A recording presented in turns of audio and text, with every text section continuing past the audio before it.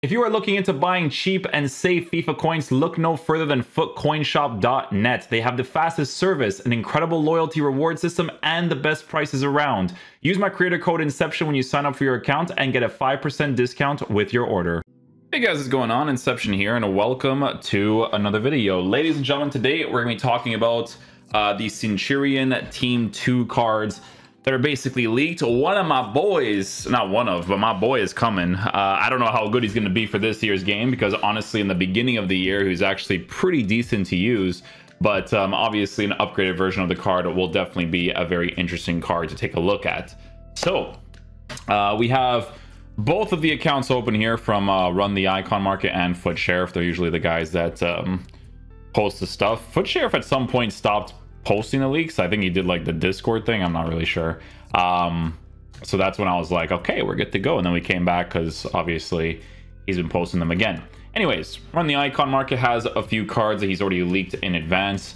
Uh, one of them is going to be the Jamal Musiala card, right? So Musiala, as you guys know, uh, we actually used for a pretty decent amount of time up until the Elite Division. At some point, uh, I definitely felt like even in the video I mentioned how, you know, it's a card that I would have to probably change from eventually because he's going to be a little bit lackluster in certain areas. Because the thing about this card is that he's actually really, really nice, but he is six foot tall.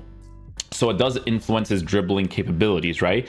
In the future, especially with the Centurion version of the card, if you can provide him with a Hunter chemistry style to have higher pace, higher shooting, base card stats for passing and dribbling being improved, it would be incredibly helpful because of that six foot height specifically, right? So what's cool about Musiala is that the technical plus that he has, very helpful, right? Trickster, Flare, First Touch, like this card still performs really well in game, but those base card stats being improved is definitely going to make a very big difference.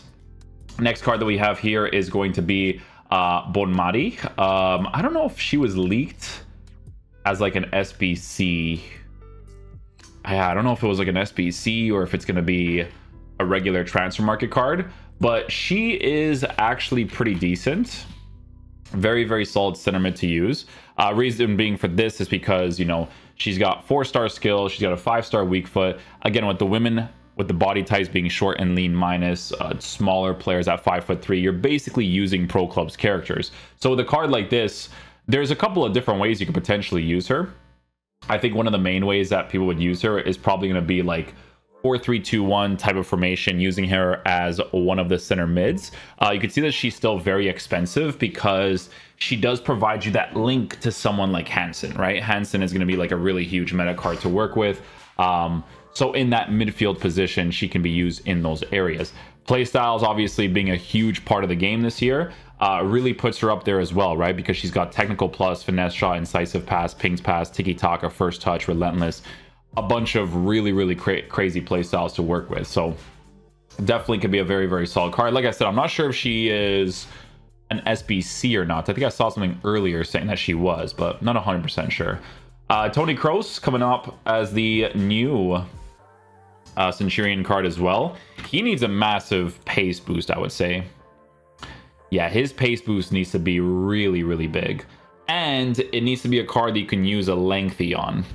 Because a card like this in this year's game, if you guys have used a card like Kone, for instance, right? Kone is actually a pretty solid storyline card. Um, that's why I mentioned to you guys in the review that compared to like the Matheus Cunha, like Kone is going to be the more meta option. Uh, but with Tony Kroos, like if he's a controlled lengthy or a lengthy player by default, and you know it's a card that you're probably going to keep on stay back while uh, stay back while attacking, stand the edge of the box a cross, something like that. And you could pop in some long shots. I'm pretty sure he has like the play styles for it. Long ball pass, dead ball, incisive pass, whips pass, intercept, press proven. Do they not have like long shot play styles in this game? I don't know actually. I never really seen it. Long ball pass though. Interesting. I guess they just use the the long shots as like the the base thing to look at, right? But yeah, Kroos definitely needs a uh, a nice improvement in that pace department for sure, 100%.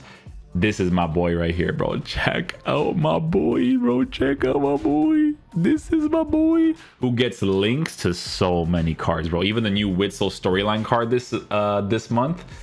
It's gonna be uh it's gonna be kind of saucy, bro. This this is gonna be a really sought after SBC, I think, because of the links because of you know people going with Messi in their team and stuff because he's Argentinian.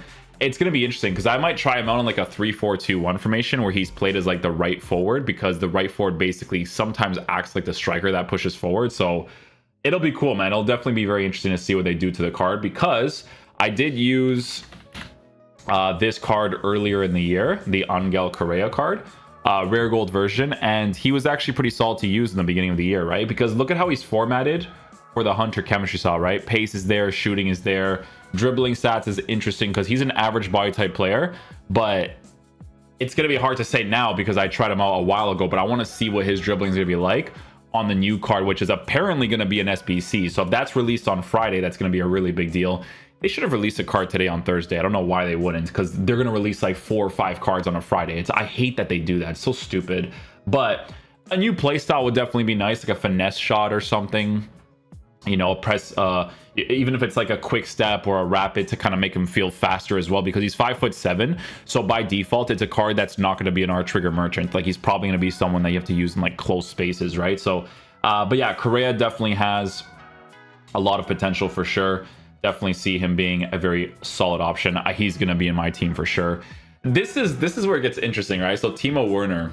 So if you did the founders version of the card, GG's, right? But the founders is if you can improve in the future, maybe, right? But Timo Werner, it kind of makes you want to do like a concept video of using Timo uh Timo Werner with Correa and the same exact team, where it's like give me Correa and Timo Werner gameplay or I'll retire, you know, something like that. Uh, just for the fun of it. But Werner uh, on the founders, he was okay. Again, with with the founders cards in general, I feel like when you got to a certain point, they weren't as ideal to work with. Especially this card, right? So he has the five star weak foot, which is obviously a really big deal, um, especially uh, on a finisher chemistry style to boost his shooting as much as possible. But um, with the Centurion card, I don't think it's going to be upgraded in that way. I don't think it's going to have the five-star weak foot and stuff, right? Because the rare gold version um, only has the four-star weak foot. So who knows? Maybe the Centurion card, maybe they give him like a four-star, four-star. I don't know. I don't know what uh, direction they're going to head uh, with that. But Timo Werner could be an interesting card for sure. I haven't actually tried him out this year. I have his founders on my SBC accounts just in case I need like reviews for like the Bundesliga players in the future, but I haven't really like tried him, tried him, you know what I'm saying? So if that situation ever presents itself, then that'd be fine, obviously. Um, yeah, so let's see here. We have Timo Werner, we have Tony Kroos.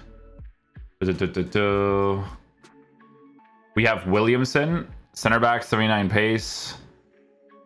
I mean, if she doesn't have like, because it, it's a it's a woman's center back, so that's gonna be chalked, man. Yeah, five seven, not worth looking into that. Um, it's always the body types and the heights. Like if you're playing defense, like there's this new inform card where she has the body type for it. This card right here. So Renard, this card like in the future, if she gets any sort of like card in the future, like on a shadow chemistry style, having the pace, having the defensive stats. Um, you know, she's six foot two. She has a high and average plus body type. Like cards like that, sure, but not the Williamson card. That's like more for uh for Nep if he chooses to to get that card. You know what I'm saying? Um, let's see if there's anything else here. So obviously, FUT Sheriff has released a lot of the icon cards. We can clearly see. So let's just keep it going down here. Okay, so these are the cards here that are I mean, to be fair, basically fodder. I don't know what Leka is like. He could be decent, but I have no idea. So Jude Bellingham is released as a Player of the Month card because he did win the recent voting. Bellingham is definitely going to be a card that I would I would probably recommend to people. Like honestly, you have to think of, you have to think of it like this. This this inform card is 385k. If the SBC is like 500, 600k or something, like it's most likely going to be recommended because Bellingham in game is actually really nice. Um, the playstyle that he has, Relentless and stuff, like these are all really cool playstyles. A good box-to-box midfielder. But the Trailblazers one's kind of crazy because he has Technical Plus, right? Technical Plus is a really huge trait to work with. I would honestly be surprised to not see pro players using this card. I would be very, very surprised because technical is a really huge way of dribbling in this game over the left stick like crazy. So that's going to be um, a really big player of the month SBC. Looking forward to that, especially as a content creator, specifically as a content creator. Uh, Vidic SBC, honestly, it could potentially be another card that I might recommend because Vidic actually. Because here's the thing, man. Vidic had a card last year or two years ago, something like that, where he just had really good defensive animations. Like, sure, his pace was low, but for this year's game, like if you were to give a shadow chemistry style to this guy with those defensive stats, with those physical stats, but then look at that. You, you know what I'm saying? Like, look at that. Slide tackle plus. I don't care too much about that, but it's the jockey, it's the block, it's the bruiser, it's the aerial. Like, all of those, that's where it's really crazy to work with, right? Slide tackle plus is really nice, but you don't want to slide tackle too much in this game, right? So it's definitely like really last ditch tackles that you're going for if you actually do end up using the slide tackle. But obviously, I'm going to be a pretty big SBC for the most part, right? Um, what else we got here? Should have a few more cards here. Okay, so Zebu. Uh, I actually tried out the regular Zebu card. Regular Zebu is actually good this year. He's actually like fun to use because every single year I use the card, I'm gonna be honest with you, like he bothered me way too much. Like I just didn't enjoy the card. Every single year he was just annoying to use because his average body type would influence the card too much. But I've gotten this card, I would say two times in the draft, and he's actually nice now. So if I were to pack him in some sort of like icon SBC in the future, he would be really, really sick, especially with the five star weak for high medium work rates. Like this card is really, really well formatted, like for the most part. Um, so obviously Centurion version is going to be for people that get it's extremely lucky in the game. Zico. So Zico, it's funny, man. I haven't tried out Zico yet. I, I'm gonna be honest. I have not even seen this card yet. This Zico card right here, I haven't seen him yet. You know what I might have to do, guys, on the weekdays where the content is like not as busy? I might have to play like a lot of drafts so I can collect footage for the icons because I have collected footage for you know players like a Zebu and stuff. And like as time goes on like they don't they're not uploads that grow right away but over time they would right? So you know if we play more drafts we can definitely get our hands on some of these cards. What does a Zebu have for playstyles he has rapid power shot and quick step. So it just makes him fast. The the the, the rapid plus makes him fast and the quick step is a, is a thing too. Yeah like I said in previous years, the Zebu was mad annoying to use, man. It used to bother me. I'm like, oh my god, this guy's like such a beast, and they just format him like garbage. Uh, but Zico, Zico looks pretty cool. I haven't seen him in the game one time yet, so obviously if people do have this card in their team, it would have to be from Extreme Luck. But he's got Dead Ball, Tiki Taka, Technical, Flare, Trivela. Like he's got a lot of crazy stuff to work with uh, with the five star, five star capabilities. So very nice stuff there. My boy, my boy Claude, Claude Makélélé. Um, he's my boy, but meta for FIFA wise, I'm gonna tell you this right now. By default, it's probably more ideal to have a physical tall player. However, I have not tried him this year, so I can't fully say that just yet. Okay, because he could still be pretty decent to work with. He is a smaller player, but who knows? Maybe if you give him a shadow chemistry style, he has like the crazy defensive capabilities. With the new card, it's going to be a little bit different because you're probably going to be able to give him an anchor chemistry style depending on how they improve him. Um, or his base card stats for defense would be so high that you'd probably just give him a catalyst. But you guys know me, I'd probably still give him a shadow anyways because have to have the defense as perfect as possible, especially at a smaller player like this with five foot nine height, right? But that's my boy, bro. Makélélé is my boy. Uh, Zanetti, Zanetti's always kind of like whatever. I don't know, man. This one's a weird one. I feel like they could do a much better job with this card. You know, like by default. Shadow chemistry style. This one I could see like uh, with the future improvement, I could see it being a little bit decent. Jumping needs to be like crazy improved. I could see him being okay because he actually has interesting stuff, right? He's got the average body type, the five foot ten height, but the physical stats and stuff, I'm not feeling too much not feeling too much, especially the jumping, man. Because if someone goes for the far post, like you're chalked. Like that's just a chalk situation. What playstyles does he have? Relentless is good. Power shots, who cares? Jockey, yes. Anticipate, yes. Press proven, yes. All those are really nice for defense, actually. So he could be pretty decent. Trezeguet. Trezeguet was an interesting one because last year when they released that SBC version of his card, especially during the whole lengthy meta thing, he was actually okay to use. I don't I don't like using physical strikers that much in general, but Trezeguet was actually pretty decent. He was actually pretty decent. I don't know if he's going to feel the same way this year because I'd prefer to not use physical strikers that much this year at all. Um, unless it's like, I would honestly say, unless it's like a Darwin Nunez, honestly.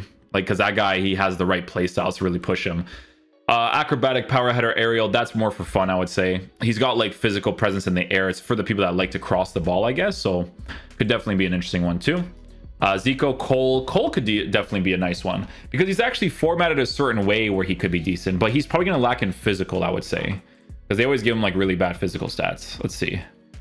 Yeah, see, so strength, strength department, guys, I'm telling this right now, man you want physical stats in your fullbacks. It's very, especially in this meta where people are just constantly just always going for that uh, driven pass on the inside of the 18 yard box in the side area for the cutback. Like, you know, but playstyles wise, he's got a lot of cool stuff to work with, right? He's got whipped pass, block, slide tackle, technical trivela.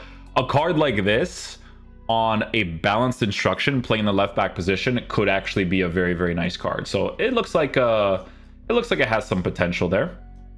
Um, and then I think that might be pretty much it. This card don't care too much about. Chiesa. Chiesa will definitely be a really interesting card. Yeah, because Chiesa has his whole, um, like this Nike card. I think he even got a, like an Evolutions card too. But uh, Chiesa is actually pretty decent. Like if you're if you're building like a Serie A team and you're using this card in the side position, he wasn't bad to use in the beginning of the year. Uh, reason being for this, though, is because, sure, sure, the dribbling set up the way that it is, but he's got a unique body type, right? Which is a very, very key thing to look at. With the new card, I'm assuming you could probably give him like a Hawk, because they would improve the base card stats for dribbling to be higher while working with the unique body type. And he's got rapid, quick step, so he's a fast player as well. Finesse shot, uh, Trivela, really, really good stuff to work with there um, as well.